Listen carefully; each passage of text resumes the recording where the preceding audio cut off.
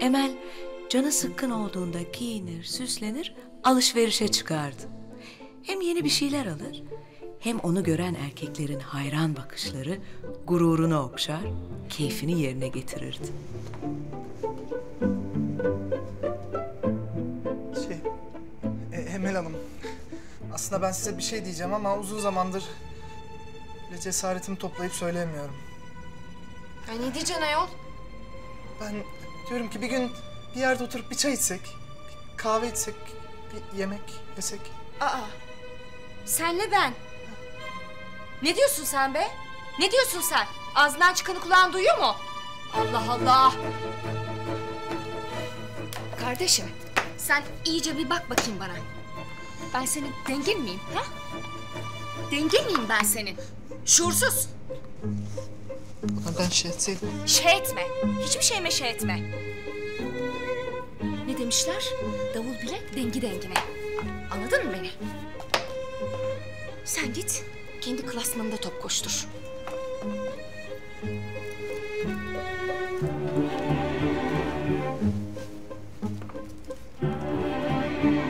Emel'in istediği onların hayran bakışlarıydı sadece. Ötesine izin vermeye hiç niyeti yoktu. Onun ilgisini, sevgisini istediği tek erkekse Emel'in farkında bile değildi. Ama kolay kolay pes eden kadınlardan değildi Emel. Madem bir kere Sinan'a göz koymuştu, her ne pahasına olursa olsun onu elde edecekti. Merhaba Sinan Bey. Emel Hanım, merhaba. Pastanenin önünden geçiyordum da poğaçalar da nasıl yeni yapılmış mis gibi koktu. Alayım dedim ama bende bir huy var. Yanımda sevdiğim biri olmadan boğazımdan geçmez benim. Size getirdim bunları. Ee, niye zahmet ettiniz Emel Hanım? Aa ne zahmeti canım. Ben şimdi bunun yanına güzel de bir çay demlerim. Şöyle demli demli sıcak sıcak iyi gider ha. Ay. Yasemin, Emel. Senin ne işin var Sinan Bey'in evinde? Ha? Asıl senin ne işin var Sinan'ın evinde?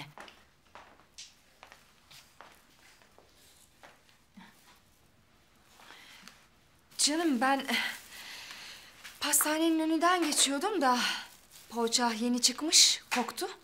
Çok seviyor diye Sinan Bey'e getirmiştim. Çok teşekkür ederiz. Zahmet olmuş gerçekten.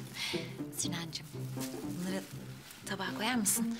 Tabii. Torbada kalırsa rutubet olur. Tadı kaçar.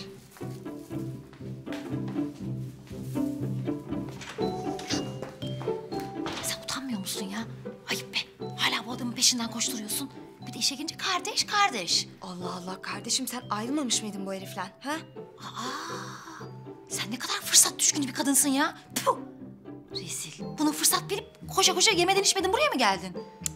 Ayrıldık, barıştık şimdi de. Sana ne? Sana ne? Ay Yasemin dengesiz dengesiz konuşma bana ya.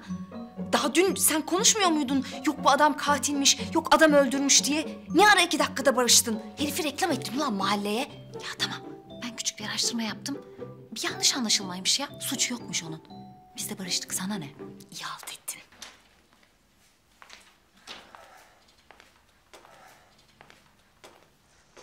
Ee, ben poğaçaları çıkardım. Bir de çay demleyeyim, hep beraber oturup yiyelim. Ha canım. Çayı ben demlerim Sinancığım. Zaten Emel de gidiyordu. Onu geçireyim, tamam. Poğaçalı için çok teşekkürler. Afiyet olsun. Eksik olma Yasemin. Çok tatlısın ya.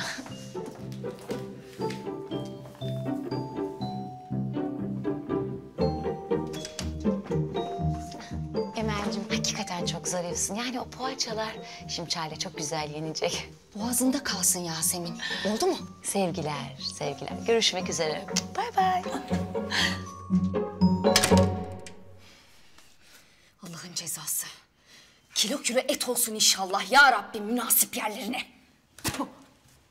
Ben bir çay demleyip geliyorum tamam Yasemin, boş ver şeyi, gel. Ya bak Emel'i gönderdim diye tekrar kahvaltıya çağıracaksan istemiyorum ben böyle bir şey yapmanı. Ben başka bir şey söyleyeceğim sana. Ben sana başka bir şey söyleyeceğim. Sen benim gaddar biri olduğumu düşünüyorsun ama değil. Sen Emel'i tanımıyorsun bak. Emel acayip kıskanç bir kadındır ve çok dedikoducudur. Şimdi gidip dedikodu yapacak ya. Mahallede kim bilir neler uyduracak. Ayrıca o bize o getirdiği poğaçanın içinde ne olduğunu biliyor muyuz? Biz büyü mü yaptı, bir şey mi koydu, kara büyü mü? Nereden biliyoruz bunu? Evlensene benimle.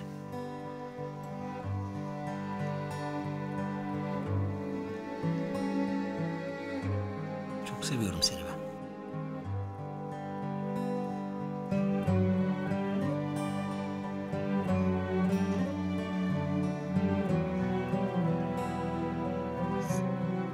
Bana mı? Bana mı? S- Sen bana mı evlenme teklif ettin? Evet. S- ya s- Senin a- ağzından çıkanı kulağın duydu değil mi? Bilerek mi söyledin?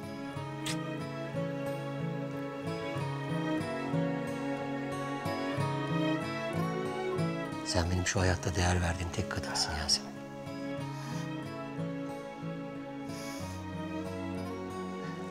Ben senin her halini seviyorum. Çocuksu, telaşlı.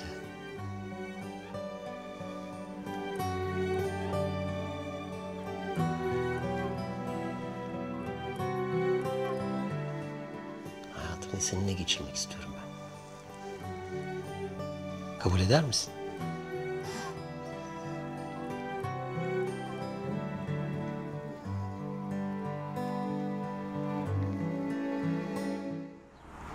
Nermin.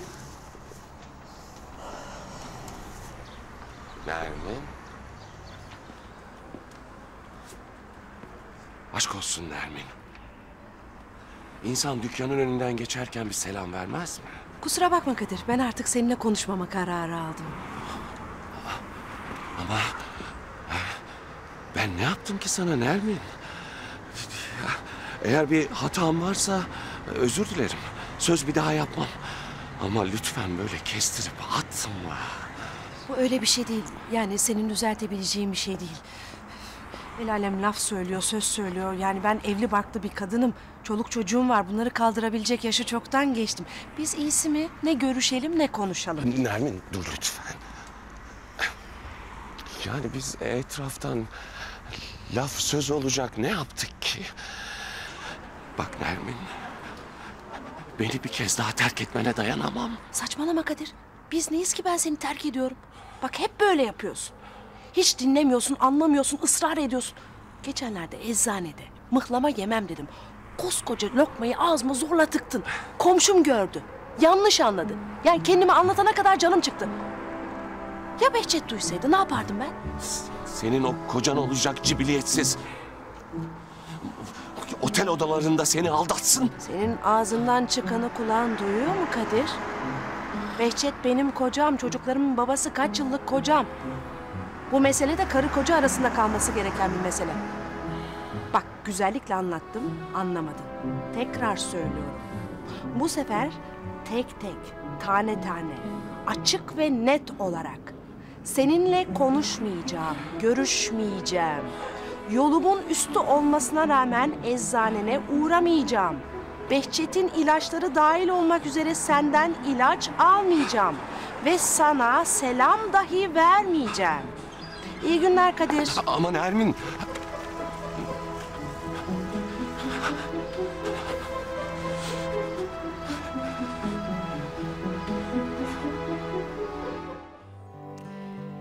Ah, ve size bir şey söyleyeceğim.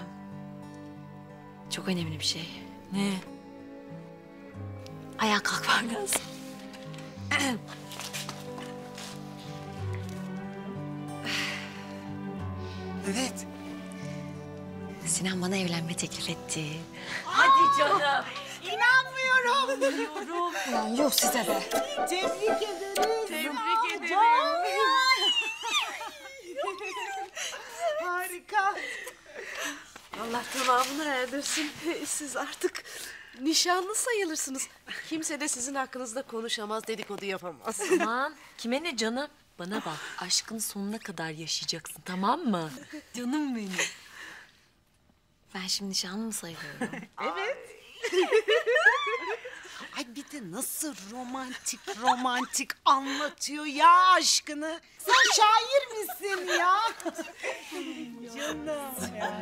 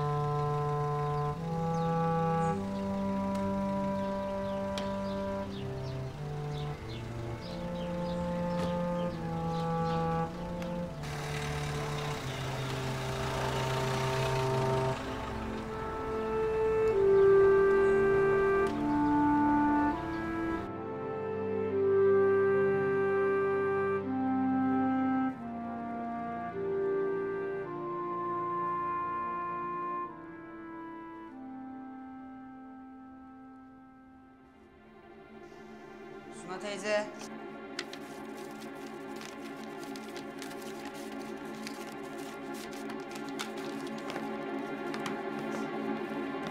Gel Mert salondayım. Şey... Babamla konuştunuz mu? Ben arıyorum da telefonu kapalı. Gel bak yanıma otur.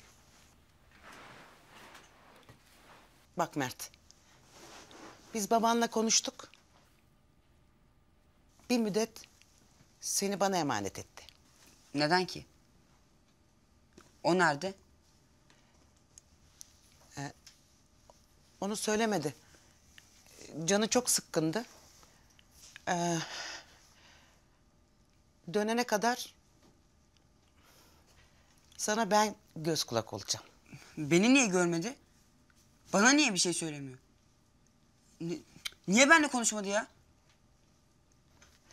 Bak bunu sana bıraktı. Aç bakalım. Belki sana bir şey bırakmıştır.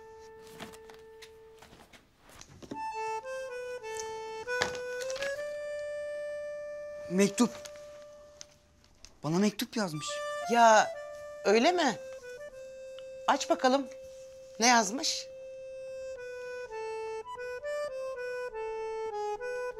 Okusana.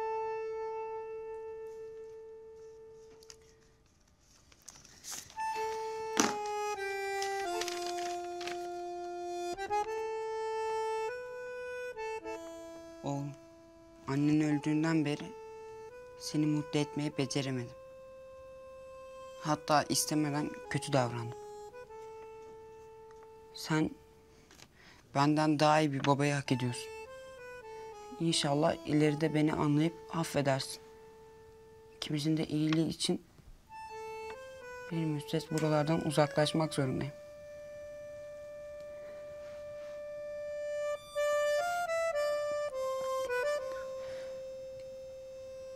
Arada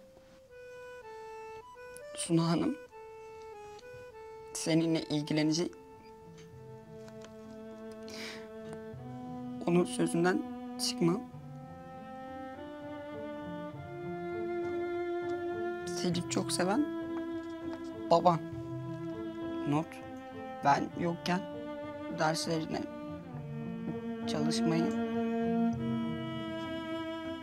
ve futbol oynamayı ihmal etme.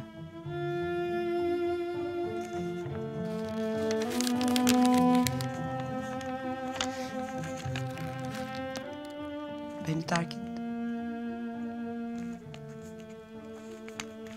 Beni terk et.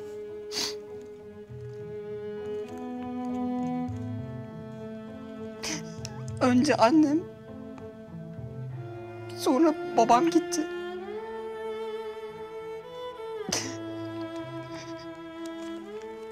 Nasıl bırakır ya? Beni nasıl bırakır ya? Beni nasıl bırakır ya? Beni nasıl... Ya beni nasıl terk eder ya? Ya ya bir de futbol sevmedim bile bile bana krampon almış ya. Ya nefret ediyorum o adamdan nefret. Nefret ediyorum ya.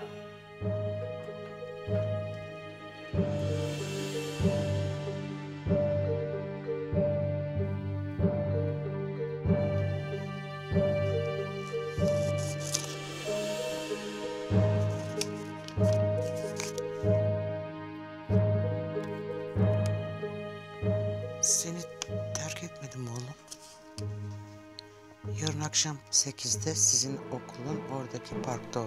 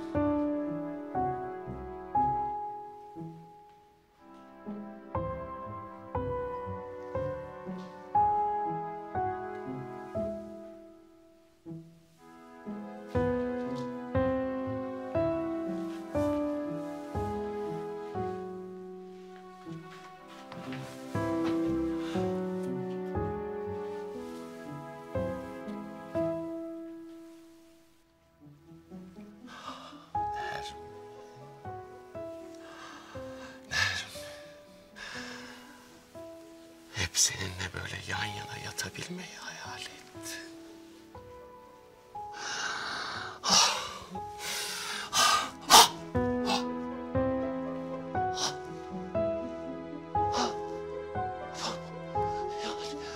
Sapık! Evet. Rahatsız ediyorum Suna Hanım. Kusura bakmayın ama bir şey soracaktım da size. Neymiş? Cemil Bey tatile falan mı çıkıyor? Yoksa evi satışa çıkarmışlardı. Bir gelişme falan mı var biliyor musunuz acaba? Ben nereden bileyim? Sabah kapıya bir paket bıraktığını gördüm. Mert de burada kalıyor. Belki bilebiliyorsunuzdur diye düşündüm. Öyle bile olsa size neden söyleyeyim ki? Suna Hanım bakın. Değer verdiğim her şeyin üzerine yemin ederim ki kardeşinizi ben öldürmedim. Size inanıyorum Sinan Bey. Ama Cemil öldürmüş olabilir. Değil mi?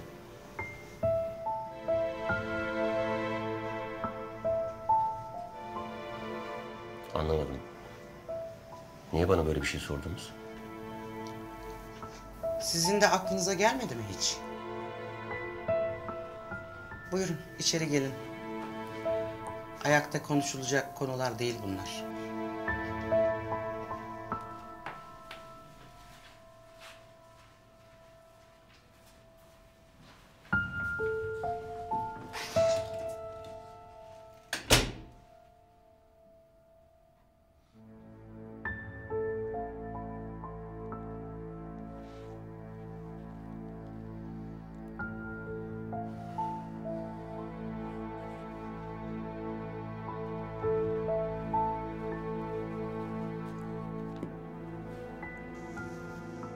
Rahmetli kardeşim çocuk gibi günlük tutmuş. Türlü türlü ıvır zıvır şeyler yazmış. Yemek tarifleri bile var. Ama arada çok önemli şeyler de yazmış. Nasıl önemli şeyler? Kardeşim Cemil'in karısı Handan'a şantaj yapıyormuş. Kime çekmiş bilmem. Soyumuzda sopumuzda böyle rezillik yok ama Neyle tehdit ediyormuş Handan'ı?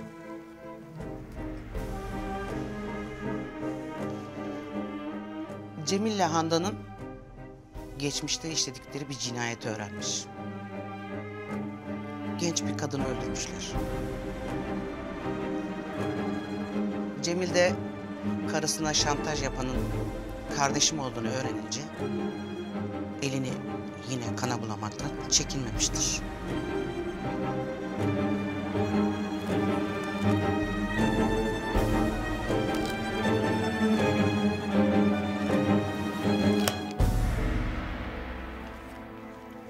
Defteri niye polise vermediniz? Çünkü adalete inancım yok.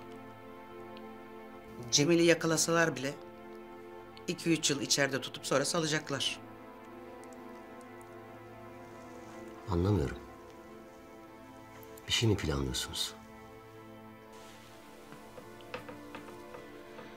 İntikam alacağım. Ama kendi yöntemlerimle.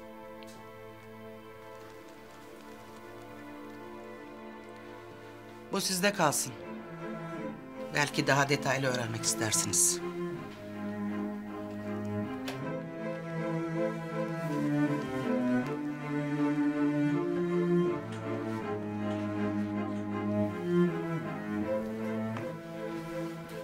Cemil nerede saklanıyor? İnanın bunu bilmiyorum. Tek bildiğim yarın akşam sekizde nerede olacağı.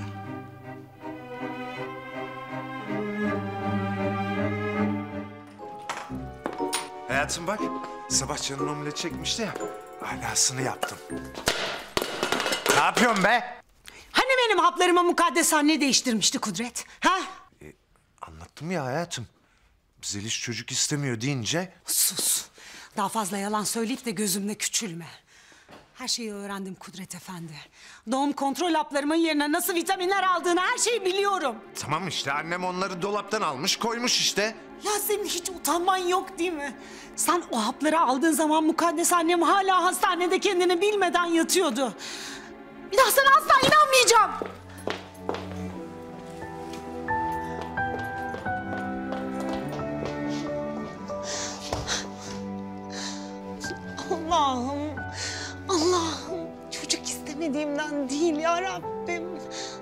Gücüne gitmesin.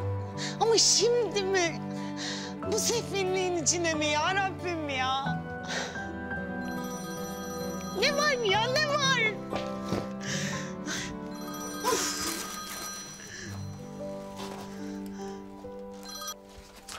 Efendim Atilla. Bak bana tekrar bağırıp çağıracaksan hiç uğraşma. Benim derdim başımdan aşkın. Bir de senin kaprislerini çekemem yani. Ne? Levent intihar mı edecekmiş? Ya bu da nereden çıktı şimdi ya? Ay bak yalnız bırakma sakın. Bir delilik falan yapmasın. Tamam. Sen, sen, sen kap- kapıyı yumruklamaya devam et. Ben... Tamam geliyorum ben şimdi. Ben ikna ederim onu. Tamam.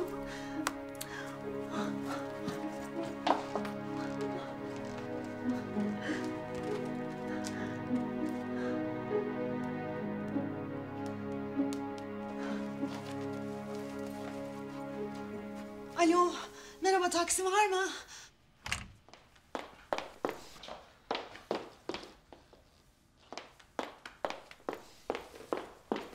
Zeliş.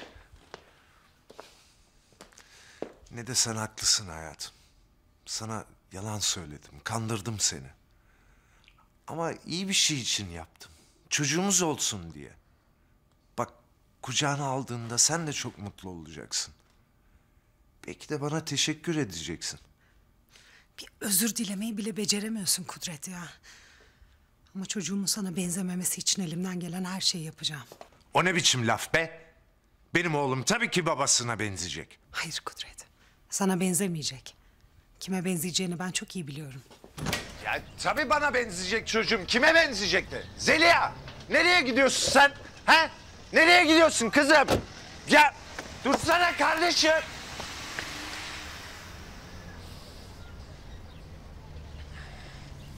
Ay adamın karısı terk etti. Bırak dedikodu yapmayı bu. Bırak.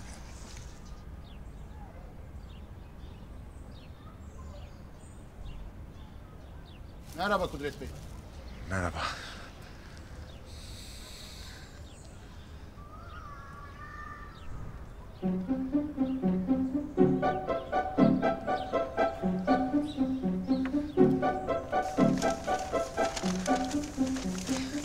Ben arabanızı hemen getireceğim. Ne arabası ne yapıyorsun? Kudret Bey ne yapıyorsunuz Kudret Bey? Yapmayın Kudret Bey. Olmaz böyle bir şey Kudret Bey. Bırakın arabamı. inin arabamdan. Arabanızı getireceğim. Acil bir durum. Oğlum inin arabamdan Kudret Bey yapmayın. Kudret Bey kapıyı aç. Allah Allah yapmayın Kudret Bey. Demek barıştınız. Aferin. Hep sizin öğütleriniz sayesinde. Çıktım karşısına. Parasızım ama seviyorum kız be seni dedim. O ne dedi? Olsun. Bu hayatı birlikte sırtlanırız dedi değil mi? Evet. Hangi binaya girdi bu kadın ya?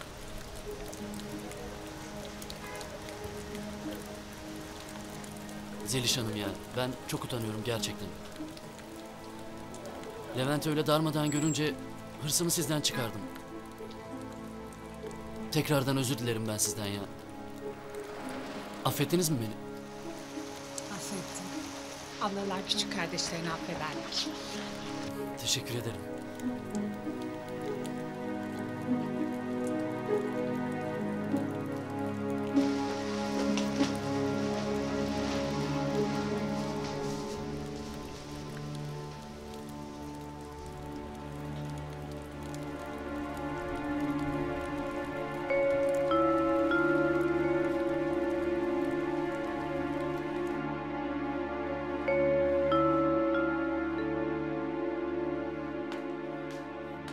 Müge. Çay demliyorum.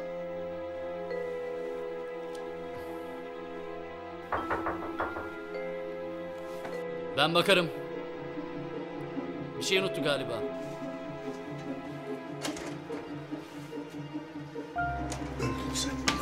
Oh! Oh! Oh! Karıma ha? Çocuğumun anasına ha? Evet Ömer ne vardı? İstifa ediyorum. İstifa mı? Nereden çıktı şimdi bu? Bana yapacak başka bir şey bırakmadınız. Yıllardır bu şirkette eşek gibi çalışıyorum. Hiçbir işe hayır demedim. Hiçbir mesaiden kaçmadım. Benimle birlikte işe başlayanlar teker teker terfi ettiler. Ağzımı açıp bir sitem etmedim. Ama bu son yaptığınız bardağa taşıran son damla oldu. Hangi damladan bahsediyorsun Ömer? Doğru dürüst anlatsana şunu.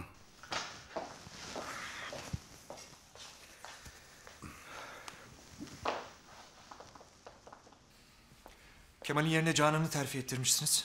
Başka bir şirketten teklif almıştı. Ben de ikna etmek için boşta olan bir mevkiyi önerdim ona. Ne var bunda? Boşta olan mı? Canan daha dünkü elemanı Rıfat Bey. Ben dururken onu nasıl terfi ettirirsiniz?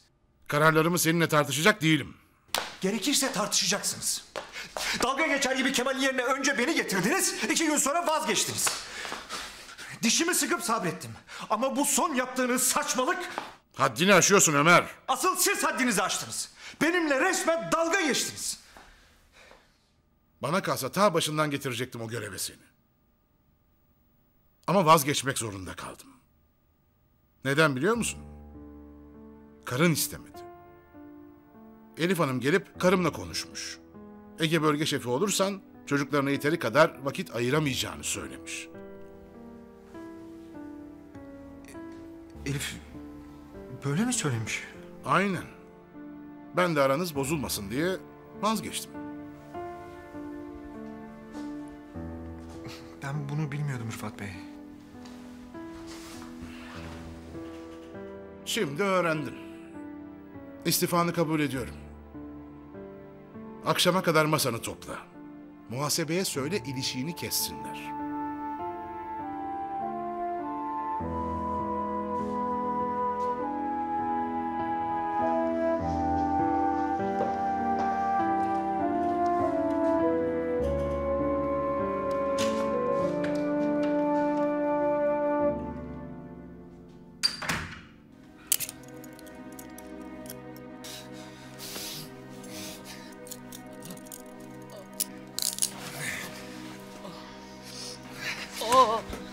Kimi sanıyorsan yanılıyorsun. Öldüreceğim seni lan.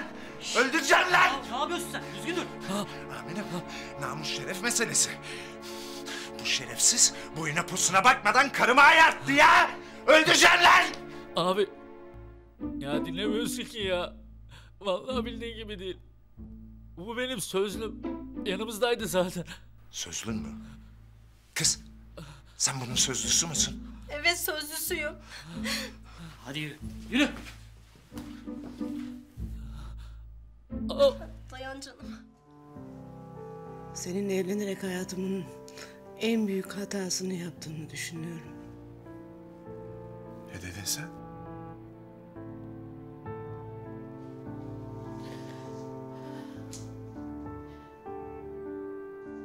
Evliliğimizi kurtarmak için yaptığım onca şeyi düşünüyorum da... ...o filmleri izlerken... ...şu tavana astığımız ayna... ...bunu asarken duyduğum utanç... ...sırf evliliğim bozulmasın... ...çocukların babasız kalmasın diye yaptığım onca şey... ...meğer bana çektireceklerim bu kadar da değilmiş. Sağda solda anlatıp millete rezil etmişsin beni. Kime neyi anlatmışım Nermin? Her şeyi. O filmleri, aynayı, hepsini. Ben böyle bir şey yapmam. Nermin sen çıldırdın mı? Yatak odamızı el aleme niye anlatayım?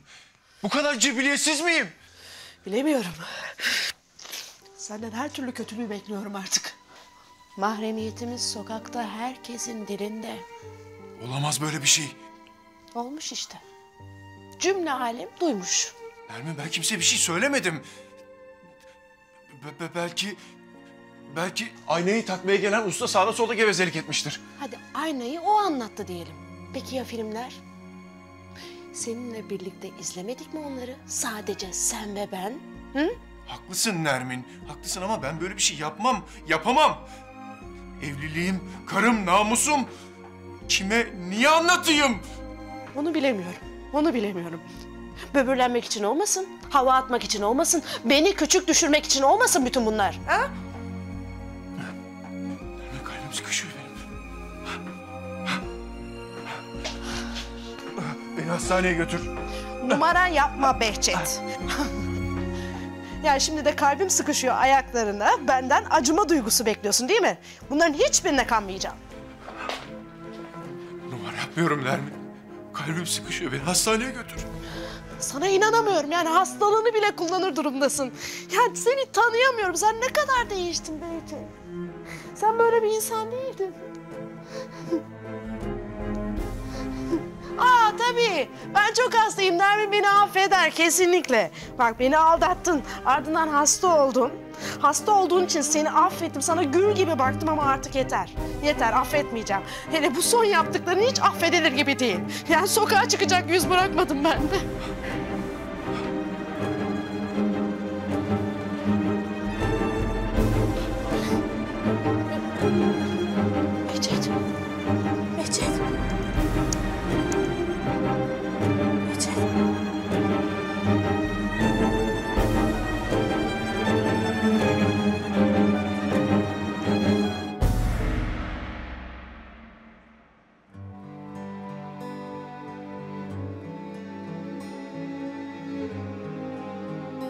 İnsanın hayattaki en büyük ihtiyacıdır güven duymak.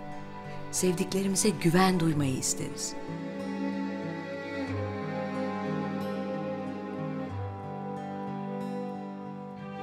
Tereddüt etmeden her sözüne kayıtsız şartsız inanmayı, gözü kapalı güvenmeyi her şeyden çok isteriz.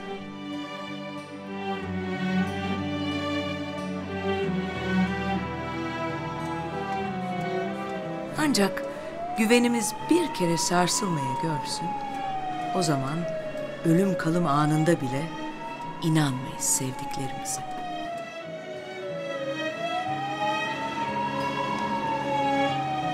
Ve bir hayat böyle geçip giderken önümüzden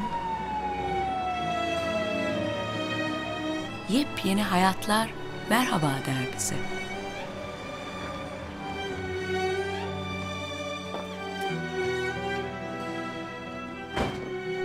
O hayatların bize ne getireceğini ise asla bilemeyiz.